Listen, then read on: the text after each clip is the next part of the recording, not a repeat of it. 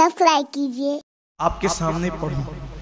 जब खुशी के साथ कोई जक़ात निकालता है, तवज्जो से सुनना, आपको बड़ी मसरत होगी ये अल्लाह के रसूल का फरमान है।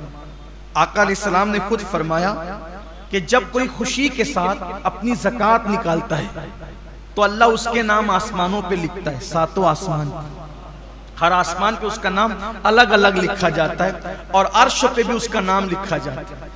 देखो, हम लोग अगर अखबार में नाम आए तो कितना बड़ा बड़ा डोनेशन देते हैं ना? फ़ोटो छपे तो कितना बड़ा बड़ा डोनेशन देते हैं, यहाँ फ़ोटो छपेगा, ये लीडर मेरा नाम लेगा, वो नाम लेगा, वो नाम। देखो, जक़ात खुशदिली से देने वालों के लिए कितना बड़ा इनाम है। मेरे आका सैयदुल आलमीन सादिक मजदूक फरमाते हैं, जो खुश दिली खुशदिली खुशदिली की कैद है इसमें।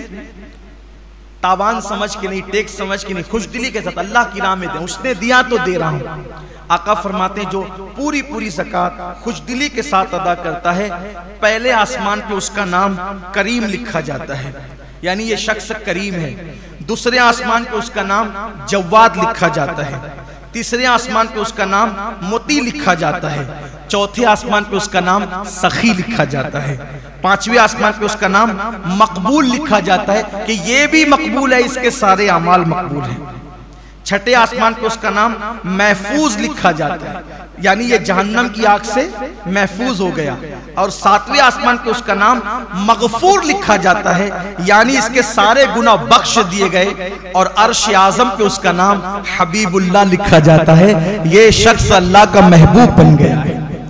जो जक़ात सही सही तौर पर अदा करता है। इसलिए रमज़ान शरीफ का मौसम है, हिसाब लगाकर। और जो हिसाब में आए, उससे कुछ ज़्यादा जक़ात निकालिए, पूरी पूरी निकालिए और मुस्तकिन को, पास पड़ोस रिश्तेदारों को और साथ ही साथ जो मदारिस दीनिया, दीन मतीन की खिदमत कर रहे हैं उनको भी अल्लाह ने तोफ़ी दिए तो मज़बूत करें। अल्लाह हम सब के हाल पे रहम करे।